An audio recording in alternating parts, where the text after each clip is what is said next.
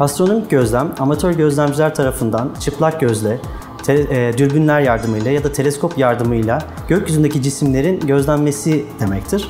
Aynı zamanda profesyonel astronomlar tarafından da kullanılan büyük teleskoplar veya birçok teleskobu bir araya getirerek kullanılan özel sistemler ya da uydu gözlemleriyle gökyüzündeki cisimlerin gözlenmesi anlamına gelmektedir.